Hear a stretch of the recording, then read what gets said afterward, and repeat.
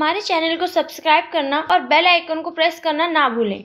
Hello guys welcome back to Dekh news Bethany Luvu A K Bethany Z has sought the tension of the social media influencer as a video from her OnlyFans account has been leaked by someone on social media one of her videos from her OnlyFans handle has gone viral on the social media platform that has stirred the social media users as the video is containing her private and intimate moments. According to the estimation of the leaked video the video has sensationalized people all across the social media. As a result bethany jade is not giving any response on social media. She is not being noticed activating her instagram as well as onlyfans handle since her intimate video got leaked on social media. The video has gone viral on various platforms of social media such as instagram tiktok and Twitter. Well, nowadays she is the talk of the town as one of her videos from her OnlyFans account has been leaked that has shocked the people. She is not coming active on her Instagram account due to